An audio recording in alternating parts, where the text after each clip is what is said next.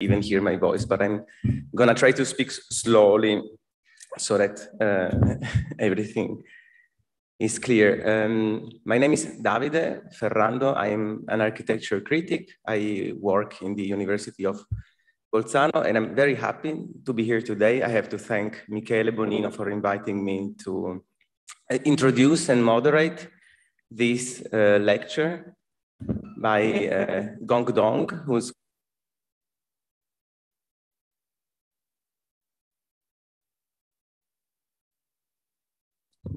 Okay, sorry.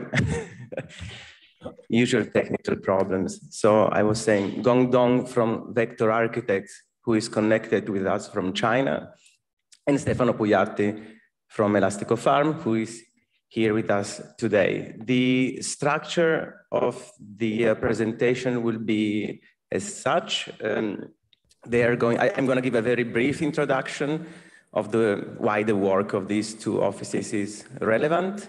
Uh, after that, Gong Dong is going to present some of his works, then Stefano Pujatti is going to present some of his works, and this should leave us more or less half an hour for questions. I know that some of you guys have been working already on questions because it is some sort of course that you are following. Therefore, I would give priority uh, when it's the Q&A moment uh, to you. And then if there is still some time before you have to go back to your courses, um, I can add some extra questions or we can even have a dialogue if it's possible between the two architects. I have um, prepared a very small introduction, but I would really like to read it. Um, I usually read only when I'm trying to express complex thoughts because I never remember how to do otherwise. And what I would like to say is that it has become a, a common habit in the last few years to speak of buildings in terms of their performance rather than their form. So that projects that do not bring into play at least one of the keywords of the moment, uh, participation, sustainability, resilience, reuse, recycle, low cost, you name them, you know them very well, so these projects are progressively being excluded from magazines, from exhibitions, from awards, and even from academies. Of course, this is uh, an exception. Uh, as a consequence, within today's architectural culture, we encounter more and more often narratives that are meant to legitimate projects by showing that they address the words of the day in one way or another. This shift in focus from form to performance is interesting. I think it is indeed interesting. And it is a clear sign of today's spirit of the time. Hmm? Nonetheless, this shift brings with it the weakening of form as a topic of architectural investigation. And this, of course, is a problem because this inevitably ends up impoverishing architectural culture itself. It is for this reason that many contemporary narratives on sustainability and, and so on actually function as excuses for projects that otherwise would have little or no interest. Vector architects and Elastico Farm need no excuses because the way in which their buildings perform is not independent from their formal order. On the, count, on the contrary, in their works, form and performance are deeply intertwined. Their forms perform.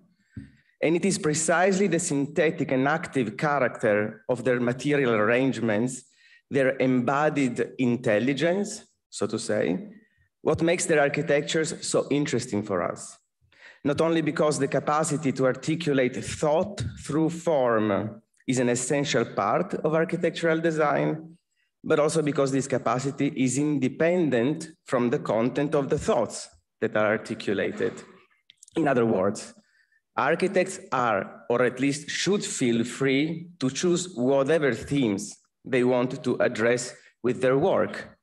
Because in the end, what really matters is how they address these themes.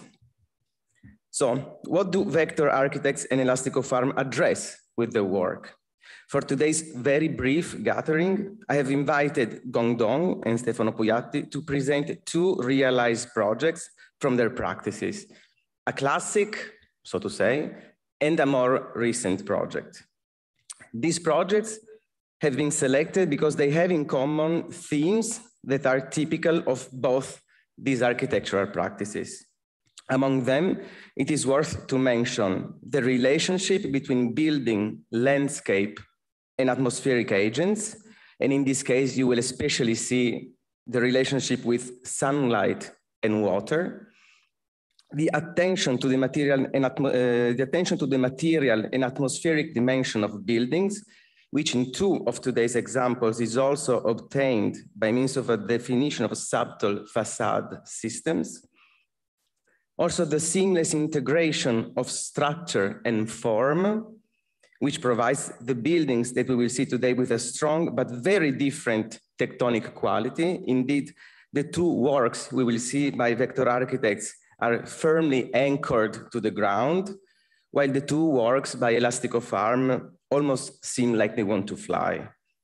And finally, the conception of architecture as a constantly changing assemblage of space and time, where time here is intended both at the micro scale of the narrative time during which architectural experience is made, but also at the macro scale of natural time during which architectures slowly transform, both in their appearance and in the way they are inhabited. Having said that, uh, I would leave the word to Gong Dong, and I thank you both, Gong and Stefano, for being here today, and of course, everyone here for listening to them. Thank you. All right. Thank you. Thank you, David. Thank you for the introduction. I think the, the introduction itself could be a very profound topic we can discuss later on. Well, uh, okay, I'm going to share the screen. Can you share the screen?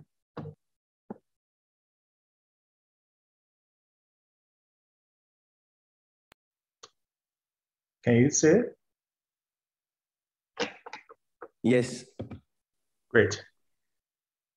Well, the time is uh, very limited today, uh, so I don't need to talk a very complex way during the presentation. We can leave more time for the later on discussion. Uh, very straightforward title, intervening and connecting. Somehow it's relevant to what you have talked just a moment earlier.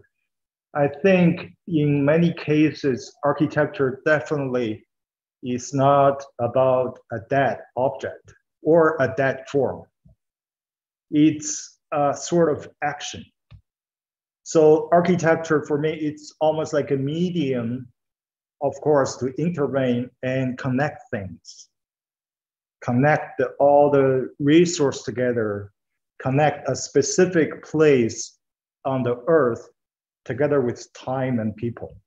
So that's, I think, is the fundamental power of architecture. So I'm going to uh, talk about the two projects you just mentioned. Uh, the first one is a hotel project. It's the Yangshuo Sugar House project. And uh, it's a renovation project with a new addition uh, in terms of this architectural program. And it's located in the very southern part of China, which is uh, uh, claimed as the one of the most beautiful landscape in the in China. And if you see the the red line on the screen, that's the property line of the project, and it's very close to a very famous river, uh, Lijiang River. And then the surrounding geographical characteristic is the karstic mountains. So that's you know that's a very iconic view of our site. In the middle, uh, beside all this beautiful mountain water landscape, we have uh, existing factory, which is about 50 years of history. And later on, it's abandoned, and then we have the chance to renovate it and then make it to a new uh, hotel compound. Uh, that's another angle you can see the, the beauty of the site. And in the middle of the, the, the image is that the existing factory. It's actually a sugar mill factory from, from 1960s. And uh, in the late of 1980, uh, unfortunately, this factory was uh, closed off because of the environmental protection policy from the government. But very luckily, this entire structure was not demolished, maybe because the location of the site is not in the center of the county. So nobody really care about demo demolishing it until one day our client uh, seeing the site and then have this idea to transform this into the later use. And I'm, I'm also very fortunate to have the chance to had a lunch together in the early process of the design project. And all these people eating with me, they're the original workers.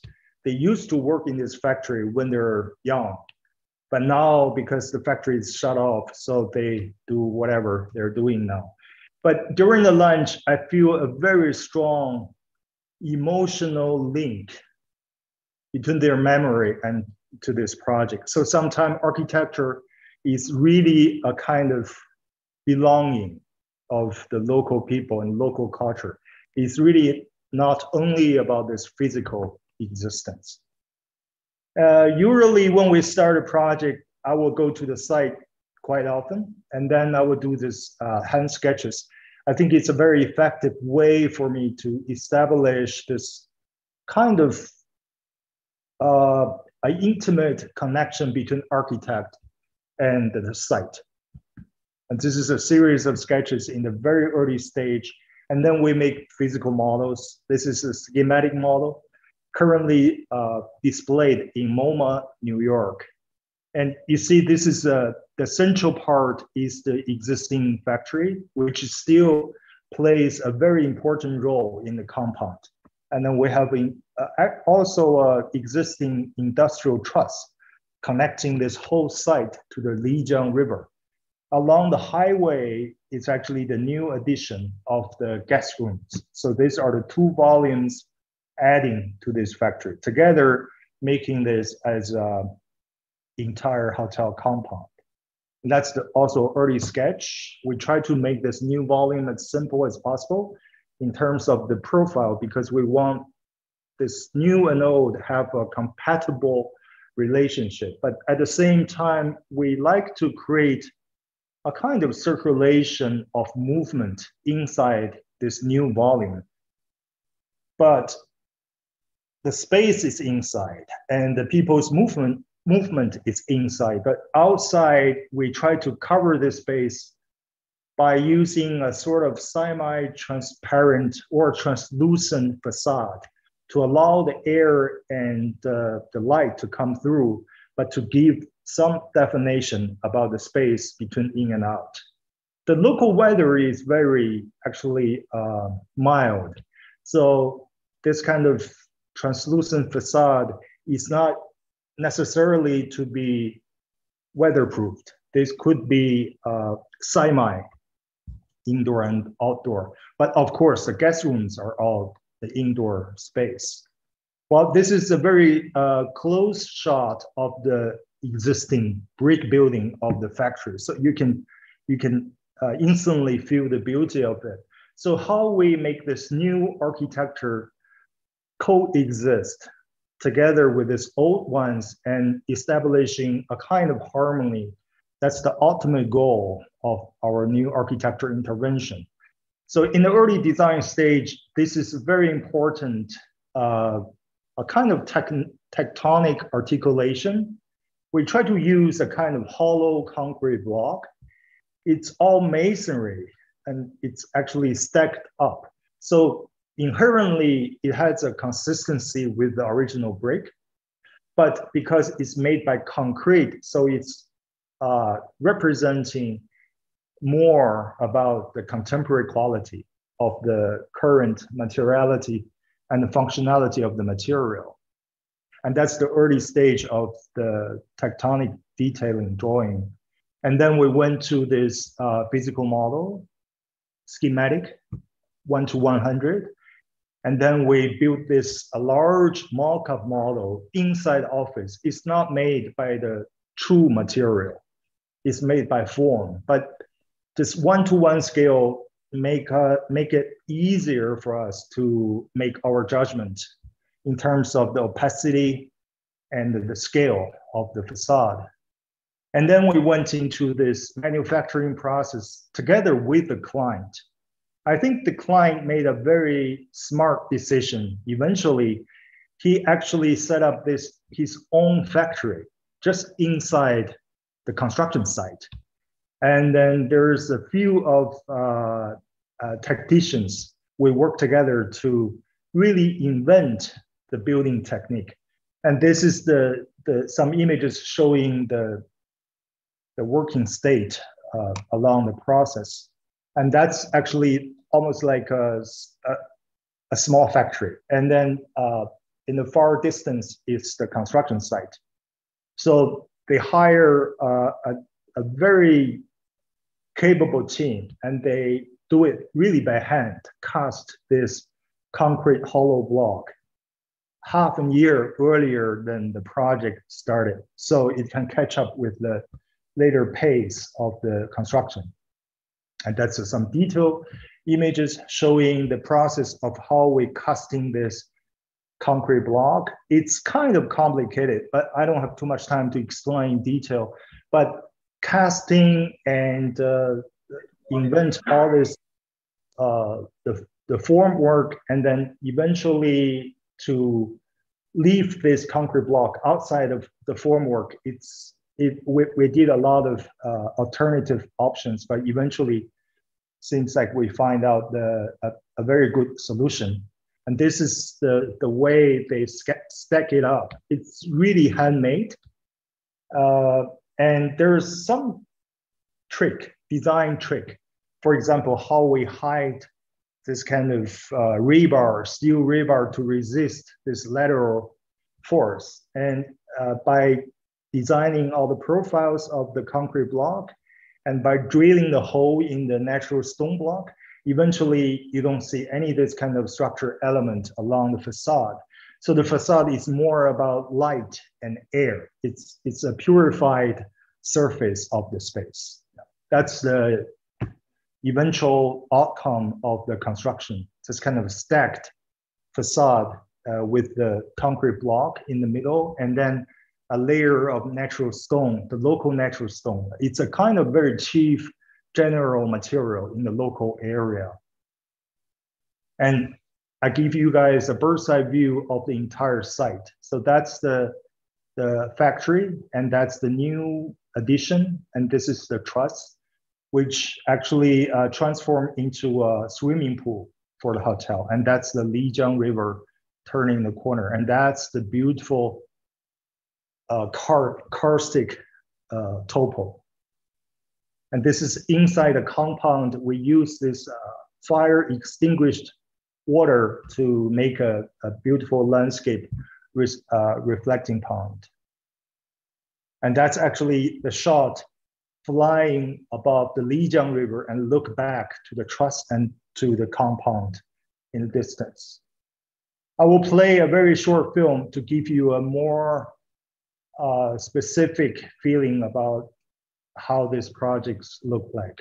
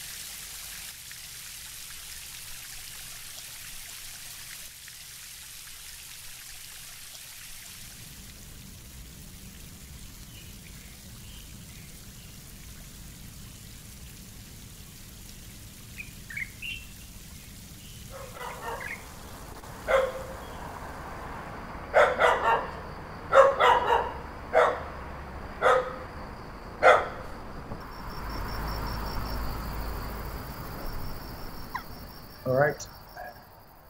The second one, uh, well, it's actually an earlier project. Uh, it's a it's a library, and the, the uniqueness of this project is is literally along the beach, a seashore, and then there's a residential compound behind it. So it's almost like a in between the ocean and the human settlement. Well, I will give you a feeling about how fast this Chinese urbanization is. And this is the two pictures taken. One is in the 2013, another one is 2021. So seven, eight years, this entire site is changing drastically. And our project, after the completion, it's over here.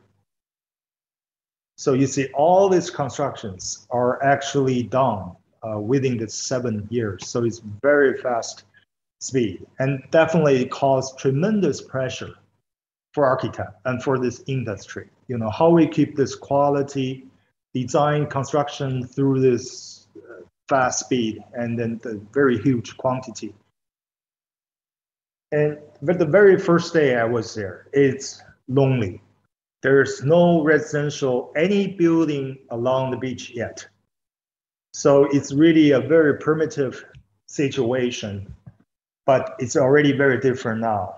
And then at that moment, I even feel a kind of insecurity because when you, you know, stand in this particular spot as a human figure in front of this vast scale landscape. And then this is quite inspiring for us. This is actually an existing shelter but it's already uh, demolished. But through all these windows, it's really a very poetic but powerful interconnection between this uh, perception and the ocean in the front. And this gave us a, some uh, inspiring clue for the later design process. So the entire building was about section, a series of different sections and uh, on the right hand, it's the major space, the reading room of the library. So you can see the facade to the ocean is more transparent than the facade towards the residential compound. And the section shows uh, a really a serious thought about the air, the light, the ambience of the space. And eventually, it's about the experience and uh, physical and psychological connection between human being and, and the nature. And that's the early stage. Hand drawing is very important for myself to uh, push this design forward step by step. This is some early drawings about this atmospheric study and large scale models. This is a model displayed in Venice Biennale in 2018. Uh, that's about four years ago already. Uh, plan is very simple. Just a big reading room with a series of supportive programs alongside. There's only one diagonal wall within this rectangle uh, setting is the one in the middle, uh, to the first floor to the second. And that's the moment right after the construction. This is the facade towards to the to the ocean, but on the on the back, if you go there right now, you can see a lot of residential buildings already. This so this is really about a momentary situation for architecture. But on the backside, it's more solid. Right now, you can you cannot even take this angle as a as a shot because it's already occupied by this residential compound. But the beach is still empty.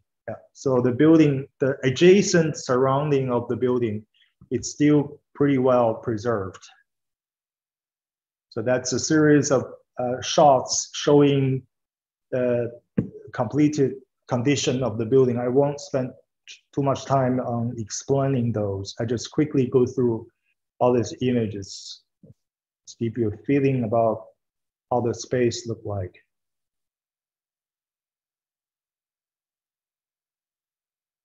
So it's a series of apertures towards to the ocean. And of course, dealing with this human scale, the, the enclosure, the openings, the scale, the darkness, and the light, and how the air actually penetrate.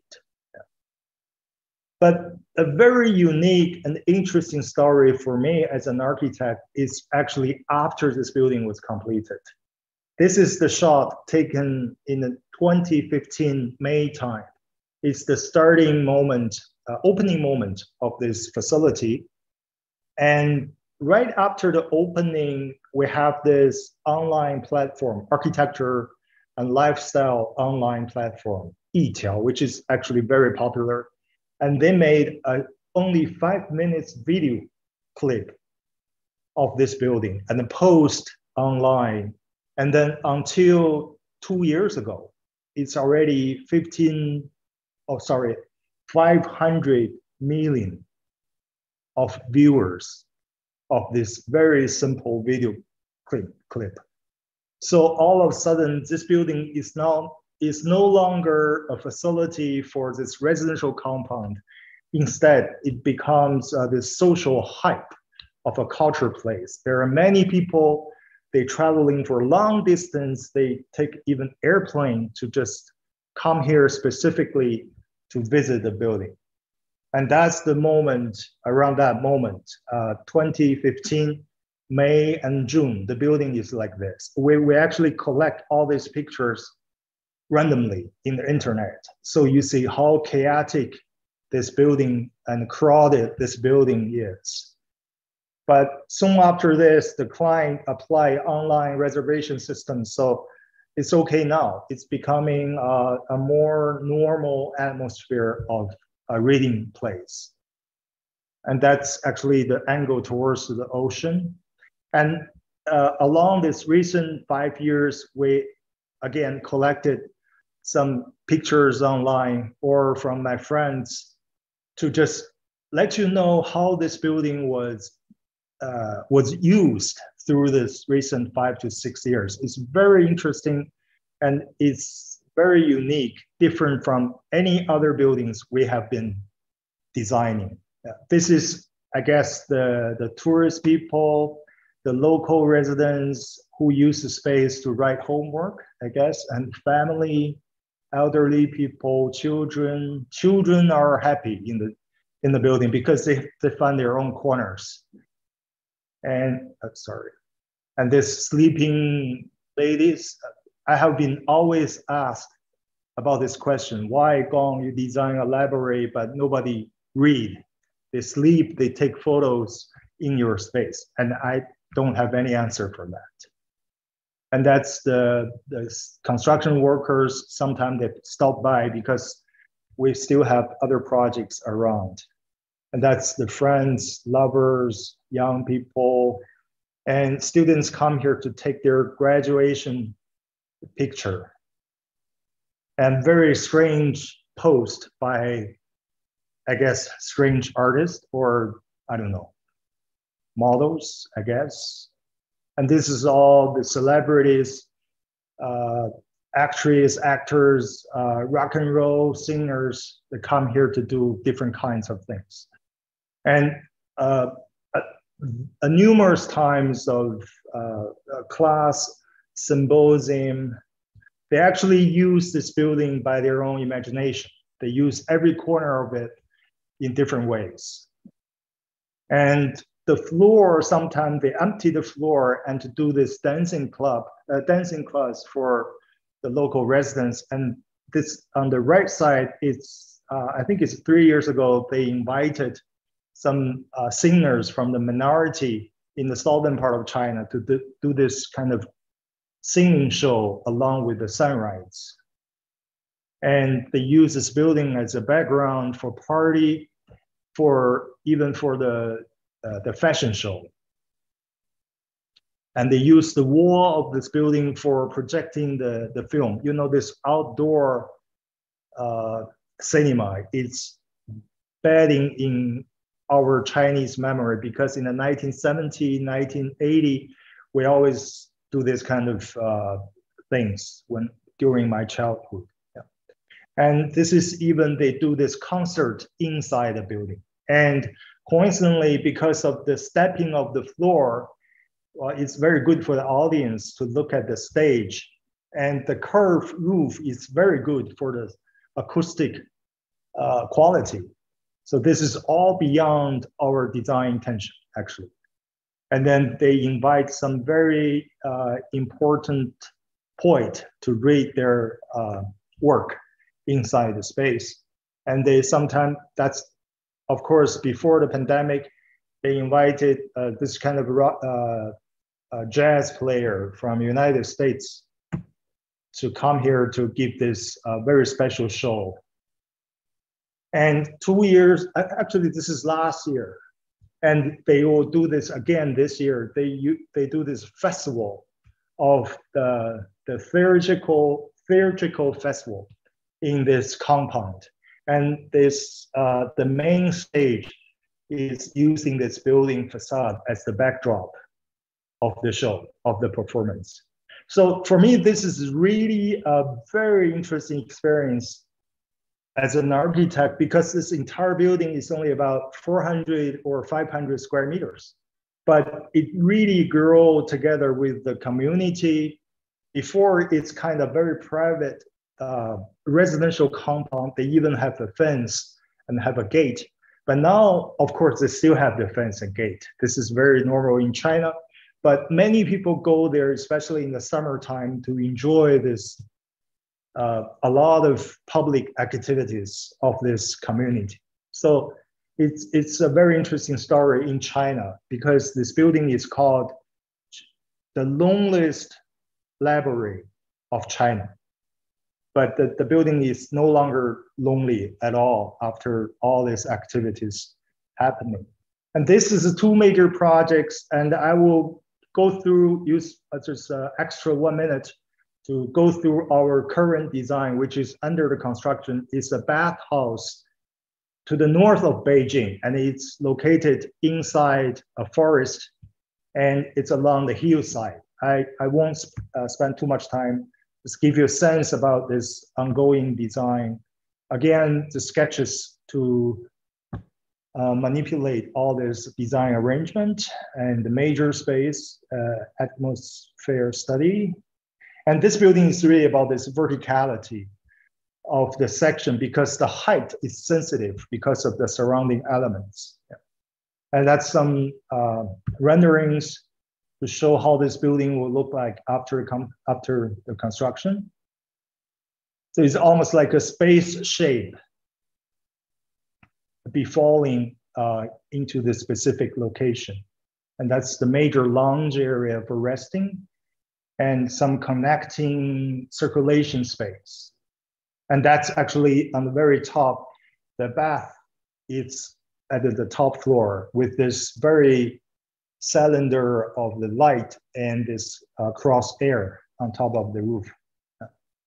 And this is uh, some shots when they they're doing that right now. They're uh, doing the surface of the concrete uses bush hammering because somehow I want to have this very subtle link between the texture of the building to the surrounding rocks. There are a lot of this uh, naked rocks alongside the hillside. And that's the picture taken two weeks ago. The building is growing with the trees around. All right, David, that's my part. Thank you very much, Gong. Thank you very much. Thank you again. I will immediately leave um, the microphone to Stefano, and then for the time that we will have left, we will have the short discussion.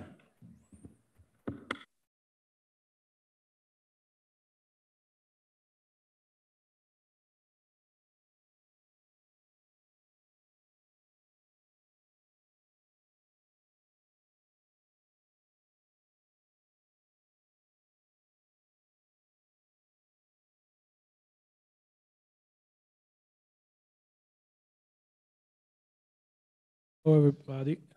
Thank you for being here, and thank you, Michele, for inviting me. Thank you, um, Davide, for the introduction. I don't know where I am. Thank you. And congratulations to Dong for um, Dong for the beautiful presentation. And uh, it's quite an honor to talk after that, even if it makes things even harder than usual. I'm not a great speaker. My English is what it is, and uh, I try to, to do my best and to run fast because I look forward to go eating. And uh, so I start speaking about uh, my work, always showing this, no, the, the first slide about the cows. And that's uh, because every cow on this on that slide belongs to a herd. And uh, all our projects is only one project. We are working only on one project. All our office is working on the project. It is composition of many small projects. So like a herd, every, every cow is genetically similar to the neighbor. Our projects are all genetically similar one to another, even if they look very, very different and they have their own uh, personality and they have their, they are the, pro the product of their own, of a different and independent thought. Uh, I will speak about the, the two projects I'm presenting today, but first I need to speak about my obsessions, especially, and there are two obsessions. One, the first one that will lead to the first project is water. Water, I've been obsessed by water since long time, and I was studying in Venice, and this image is very important to me. Water makes the all difference in how people is perceiving Venice when they walk on a, when they when they go and there is no high tide, and when they go when the tides are high, because they perceive the cathedral uh, in a completely the, the, the basilica in a completely different uh, in a completely different way. So the guy that actually is putting down that path is deciding how the people from all over the world will perceive Piazza San Marco in Venice. This is to me very important, the power of water and uh, how this power of water is determined by the position of earth, moon, and sun, this threesome in which uh, uh, sometimes uh, uh, the, the, the, the weight of importance of the, of the position can create a big difference in the movement of water. Move, water is like the sentiment of the earth toward the sun and the moon.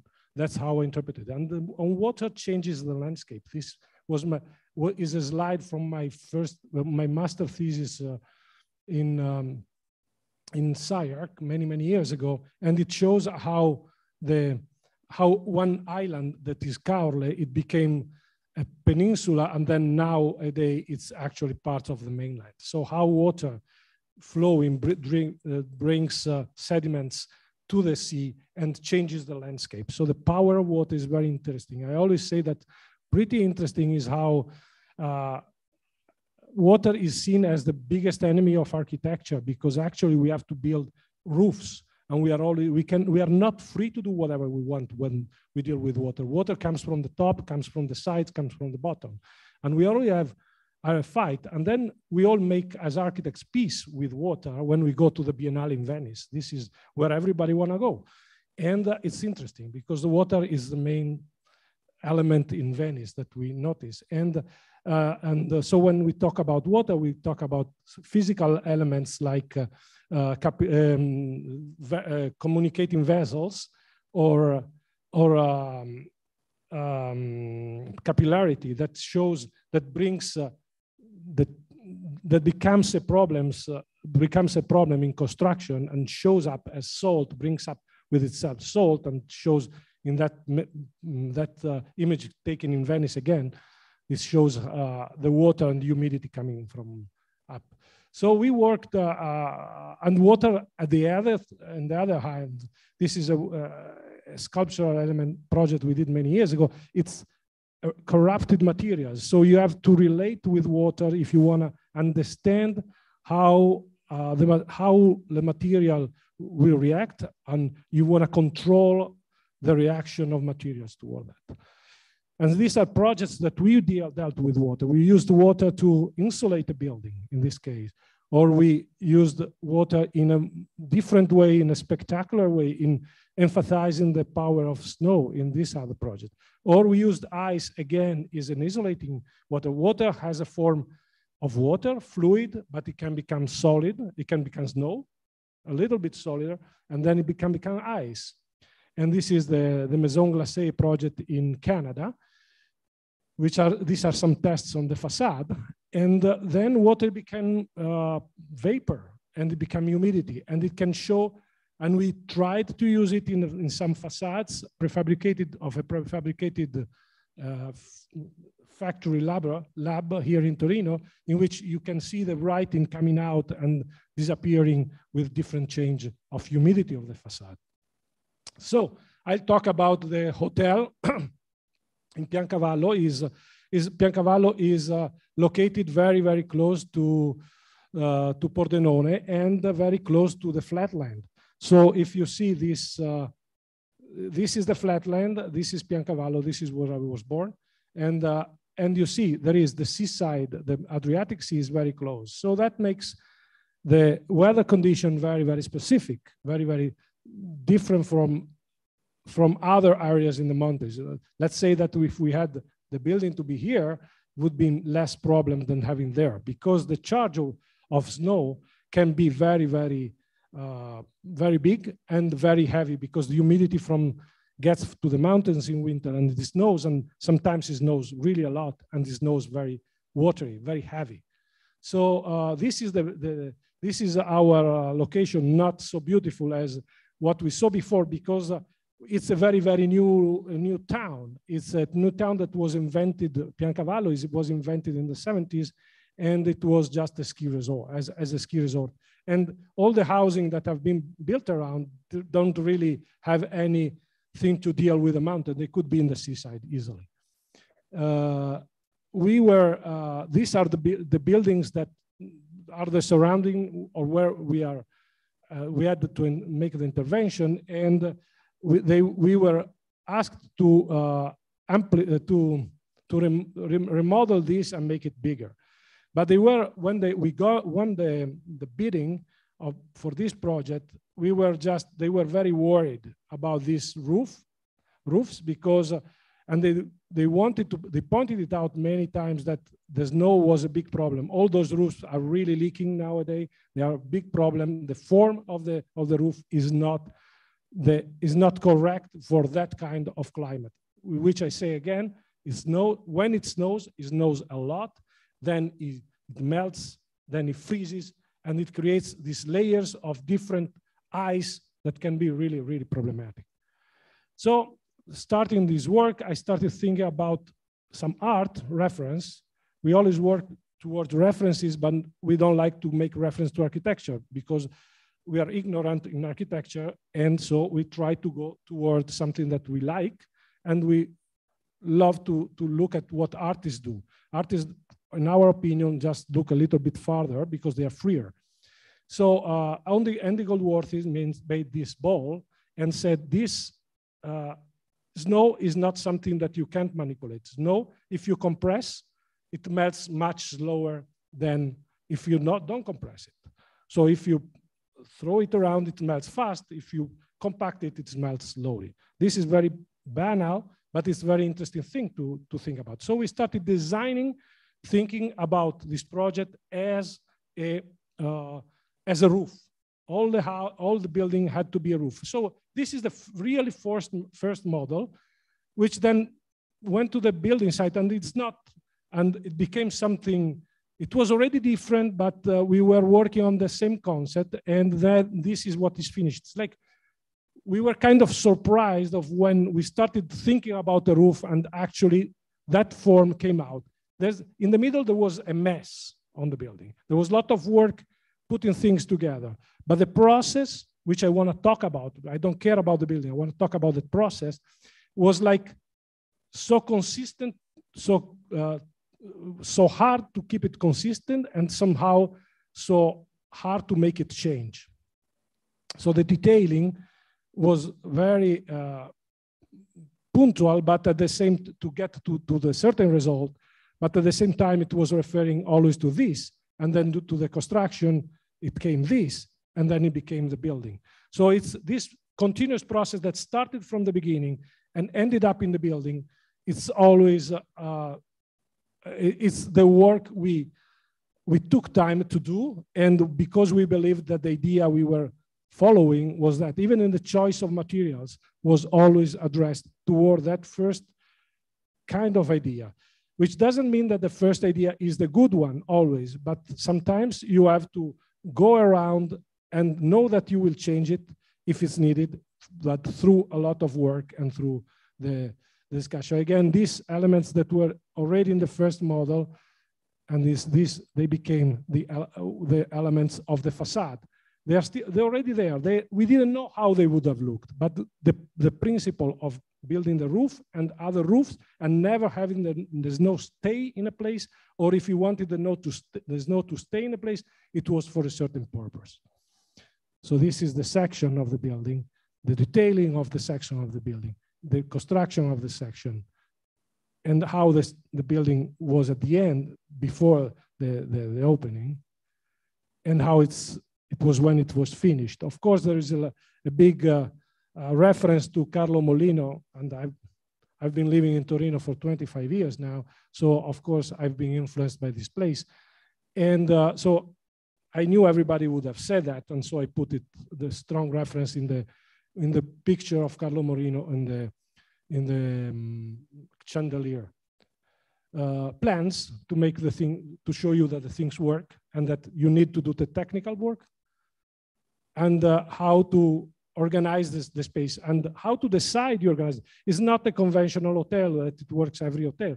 Like every hotel, there is two lobbies, two different lobbies. You never know if the lobby is where you actually uh, go inside at the beginning or where you rest when you go into the bedroom. We, we didn't build any other hotel before and we didn't build it afterwards. It's just we don't care so much about the function that goes into a building. We are interested in other things that the building can communicate. Function is never to us important. Uh, the, the program is never so important. The program can adapt to our, the architecture, can adapt to our ideas. I'm saying something that is very risky, but uh, I prefer to adapt the program to what we are thinking or what we want to achieve than adapting what I want to achieve to the program. And it's always a compromise, of course, but uh, that's, uh, that's something, uh, it's our way of working in the office. And so this is a student from Polytechnic of many years ago that came to visit because we did a workshop. I had been teaching here too, some times ago. And the corridors and the spaces inside. And all of this, the bedrooms, and uh, again, some jokes, because when we, when we were asked to build this building, they said we need to bring the spirit, the spirit of the, play, of the mountain to the place. And uh, so we decided to create ghosts into the bedroom. So all these people that were into this change printed in the chains are dead people who were great skier, great hang, uh, cliff, uh, hang, cliffhangers or people like that, but who died probably in the mountains. So, so we actually printed them so they became the ghosts that goes around this place. And when you go into the bedroom, you move those and they start skiing again. And then they go into quiet, uh, in their quiet life. And uh, this is something, it's always stupid to do, do these things, but it's important for us to, to play a little bit. And, uh, and this is the, um, the furniture that is again, it's a very economic building. It's something that we, we built up uh, with, uh, with a limited budget in which we were asked to do everything. So we, we took the same material we used to build the walls and we cut into chairs and tables and whatever.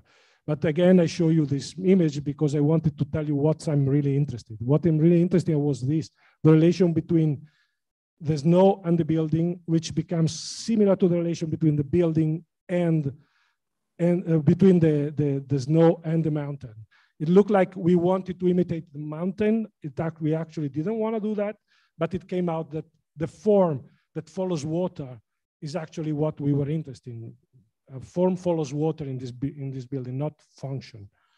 It then functions too, but it's okay. And I think man is, uh, if he likes the place he goes, he's very adaptable and we we live we make discotheques into churches uh, in churches and uh, we make everything we want into places we like if we like a place we make we use it and this is the real project i was interested how showing the motion of snow into the, the building or the ice growing into the building. The, the icicle in the middle of this uh, uh, conversion of the roof that becomes bigger and bigger and it gets to touch the ground. And when it's summer, all that becomes like a waterfall where water is collect, connected, collected in the middle where the stones are. And uh, it goes then, it, it's used to, to create uh, snow for the ski tracks.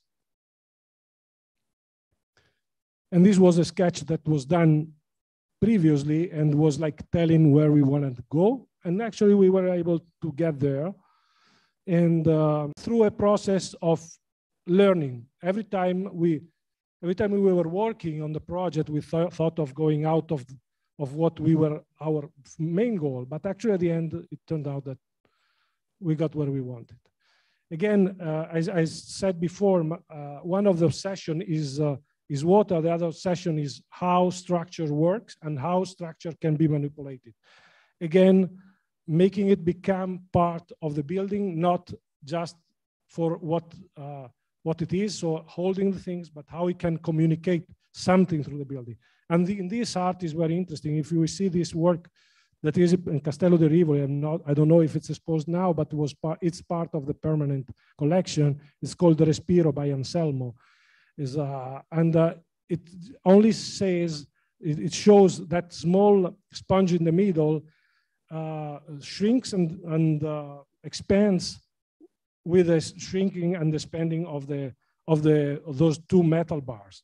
This is very important. It shows every building we do breathes actually with with hot and cold, uh, and cold with heat and cold it, it expands it moves its part structure is part of the uh, uh, the, the structure is a living part of the building.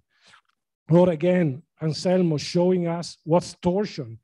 And it's not different from the other way uh, the, it was the discobolo that was expressing torsion. Art always somehow expresses some energies, and this energy is very important. And art somehow shows showed it 40 years ago, maybe, those strength of that energy that was there 4,000 years ago. Or this is another element that is to me is very dear, work that's to me very dear, it's, that speaks, it says actually is the sky shorter. That sky, the sky on top of that bar is one meter shorter than the rest of the sky. And when we build something in this world, we know that we can shorten the, the sky or we can and expand the land, or we can expand the sky if we make a hole in the land. So we are acting on this land, on this of the earth. We expand the earth or we can compress the earth. And this, again, art talks about that. Or this is very sensual from Bernini and the rapt of uh, Ratto della, um, uh, non della Sabina, ma Ratto di, uh, okay, I don't remember the name, but it's not, and Penone, That this, again, man that touches nature in a sensual way and makes it uh, um, and, and, and makes it become alive and shows life through that. And structure and uh, what and uh, and resistance of the materials to water. Something again, how structure react, reacts to the elements of life. These are example of how we work with structure. This building is all built with uh, panels of granite in this case, granite, and some of, uh, of prefabricated concrete, and they are overlaying in, uh, in an attempt to create a how, and the name of this building is House of Cards, and it's built like a house of cards. Or another way, a screen and a structure that is uh, the, the element that become the play between structure and decoration on a house that used to be built on stones and now stone that was structural, and now structure becomes concrete and stone becomes pure decoration. And, uh, and it becomes a screen through which you can see. So I'm talking now about the other project. It is a project in the seaside. In uh, it's a project for vacation home for rich people. So it's very banal uh, theme. But as I said before, I don't really care much about the program. What I'm, I care is how this uh, building relates to what happens around and wants to tell a story. This is the bâtiment descendant escalier. Of course, you can understand the reference to L'homme descendant l'escalier uh, of uh, Duchamp, but uh, the, the idea is that, again, this building is detached from the ground and it, it somehow uses this stair that is a public path to cross and to go toward, the, to, to become part of a public space the land, the place, uh, the place is not far from the beach, but is at the same time far, too far for a beach, from the beach for the rich people. So how could we bring some rich people to buy so far from, from the beach, but close to the main commercial area? In, uh, in, in a place in which uh, uh actually there are some, some higher rise here that actually uh, look to the beach. But you know, if you live in these high rises here and you are here, you don't really see the beach. The only people who see the beach is this, the, the front people. The other people just see uh, piece and pieces of that. So let's say we cannot, our building can never see, be this, but can surely be better than the back parts. So we, we started thinking that people that go to the beach, actually they want to get sun and sea, sea view. And uh, actually they want to get the sun as the grapes want to get the sun to get ripe. So it's like a vineyard. We designed it as we, we would design a vineyard. So we, we, we, we took, this is east, this is west, this is north. Uh, the view the view to the seaside is here. But the view on the north is very beautiful. It looks uh, at mountains and it looks at, uh, at the lagoon that is very, the Venice lagoon that is very, very nice area. And so this, this element becomes like a terraces building and, uh, and it, it shows itself like being a terrace building. It wants to, to show that everybody can look at the sea. And when you're here, actually you get sun all day, and you get from morning to evening, and you get view from, let's say, very good view from third floor up. Something that, that you couldn't be if you were closer to the beach, but you didn't have that exposure. The big problem when they gave us this project is that this part here was already sold, the bottom part. So I tell you the story about the structure. Why these 90 looking sticks are there because that's the comment a lot of people say. This is 90 look, 90 looking uh, uh, on testosterone building. It's uh, it's actually it's actually about that. This was the the it's about structure. This was already sold. All this block here was already had already been sold like it is, and uh, with this structure, if you build in a rational, what, what you mean rational way, you could build either a building like this, but was too short to hold all the, all the apartments because we couldn't go higher high enough, or we could, you could build like this, which is much longer. We could even go further. But the people on the back would not see the seaside as well. So we decided to, to do this, but we had the problem of this big problem, that these are the the pillar, these were the lines of pillar we had to use. We could not use the other pillar, but our building was this on top. These are small apartments divided by shear walls that, that hold the, the structure of the building. So how do you put these two structures together? That's, that's not gonna work. If you don't have a smart engineer who says, Stefano would love that not to be straight. To take the shear walls, take the loads carried by the shear walls, and bring them to the to the pillars. So we made big, we kept the main lines, and we made bigger pillars. We just expanded the pillar, and that was accepted. So, but to do that, we had to elevate to elevate the building of one floor, and which was allowed it because we made it longer so we could take away one floor from the bottom. And we created this big, again, public space that is very useful for the, you for the, for the place is, so you have a building in the real center of the commercial area on, on Jesolo, in real center with a supermarket behind, uh, below. So it's very comfortable. You take an elevator, you go to take your food. And you have a middle space in which there is a swimming pool. And if it rains, your kids can stay down and, and stay underneath here. They can play, whatever. And, and that's, that was very useful place. So that our, our investor accepted the proposal, even if it, the costs were going up. And this is what we actually proposed as a first uh, maquette.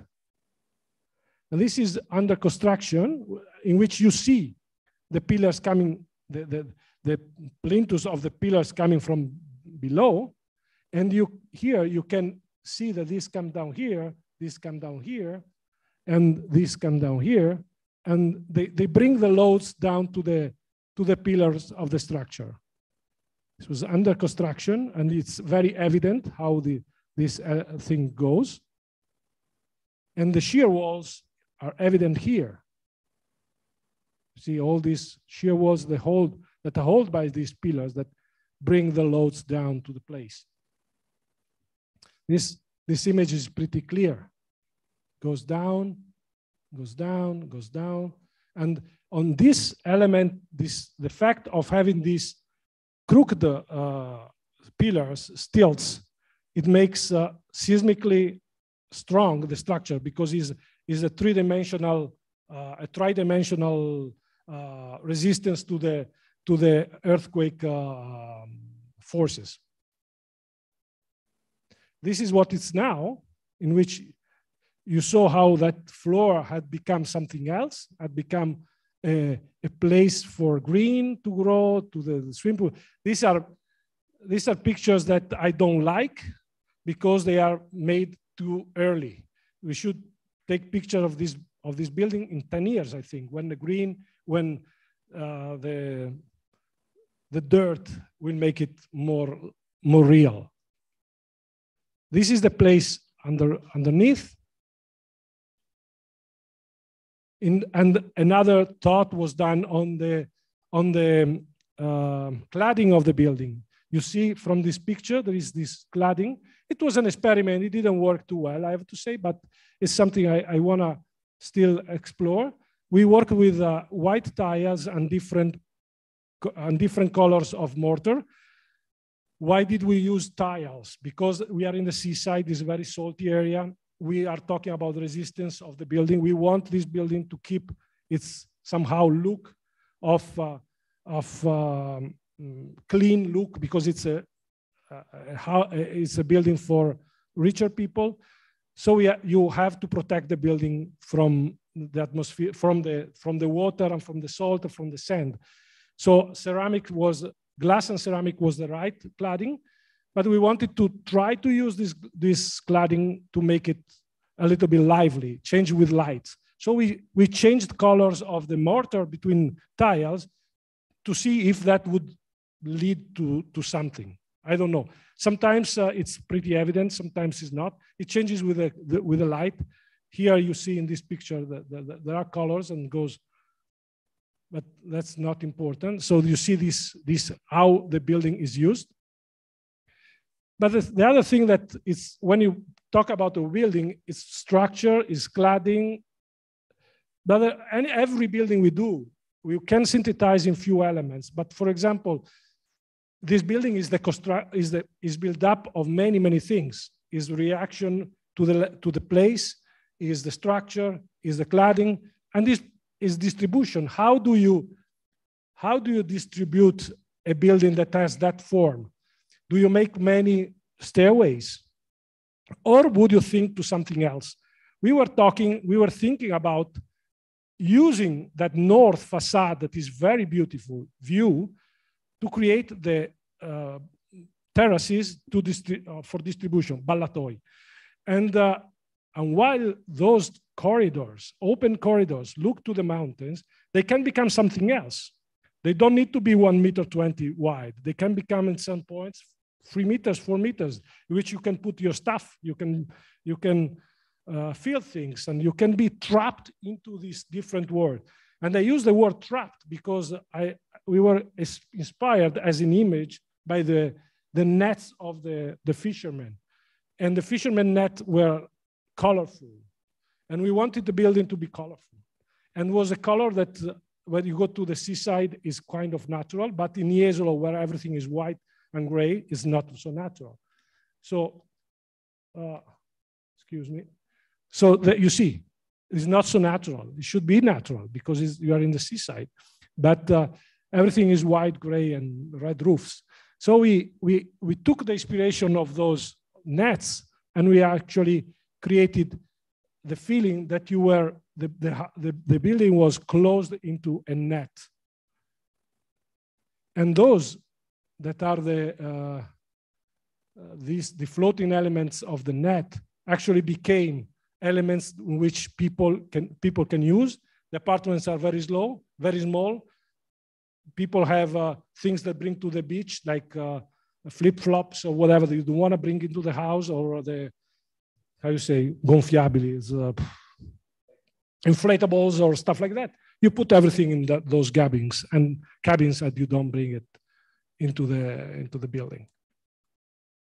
So this is how you feel trapped into the, the net and how you perceive the space, space and you can relate to other floors. You are never alone somehow. And you watch, I don't have a picture of the, of the mountains from the outside. And th this is in the night. Thank you very much for your attention. Thank you.